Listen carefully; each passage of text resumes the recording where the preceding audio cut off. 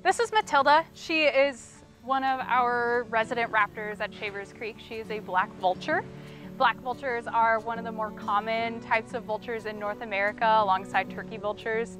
Now black vultures are kind of a fun species and Matilda is a really great example of the personality that a black vulture has. She's very eager to train, she's very engaged with people, both visitors and trainers. She's very eager to solve problems and figure things out in the form of enrichment.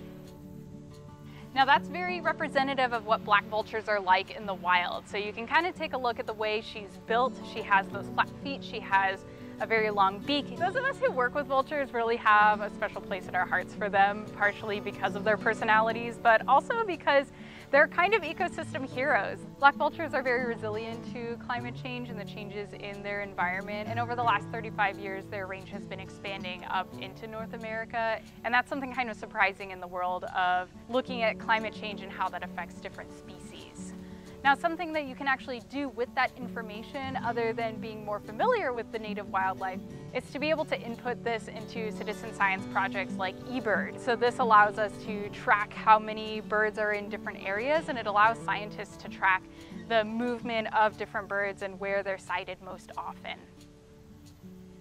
We all like to say that all of the birds are our favorites to work with and all of the animals are our favorites to work with, but Matilda definitely has a special place in a lot of our hearts. We really like to see the growth that she's shown us over the couple of years that we've worked on positive reinforcement training with her. And one of our most exciting moments was actually bringing her outside on walks for the first time ever.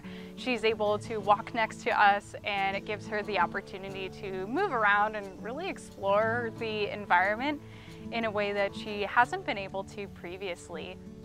To learn more about these birds, visit allaboutbirds.org. To learn more about the birds at Shavers Creek, visit shaverscreek.org. Aww.